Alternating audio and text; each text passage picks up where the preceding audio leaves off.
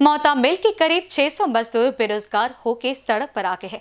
उन पर भूखे रहने की नौबत आ गई थी। इसी का विचार करके विधायक समीर कुनावा ने उन्हें जीवनाशक्य वस्तु का वितरण करके उन्हें कुछ हद तक राहत देने की कोशिश की है। विदित हो कि मोहता मिल प्रबंधन ने लॉक आउट करके करीब 600 मजदूरों को काम से बेदखल कर दिया। अब इन मजदूरों के पास कोई भी काम नहीं रहने से उन पर भूखे रहने की नौबत आ गई थी।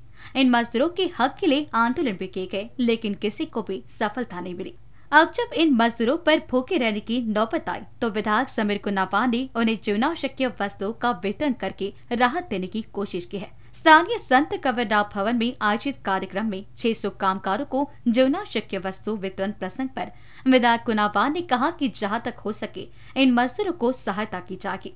इस अवसर पर नगर पालिका अध्यक्ष प्रेम बसंताली उप विभागीय पुलिस अधिकारी दिनेश कदम, थानेदार संपत चौहान जिला महामंत्री किशोर दिखे उसी प्रकार सैकड़ों आर एस आर मोहतामिल मजदूर और कर्मचारी सदस्य उपस्थित थे। बेसन न्यूज़ के लिए हेंगन घाट से रवि येनुरकर की रिपोर्ट।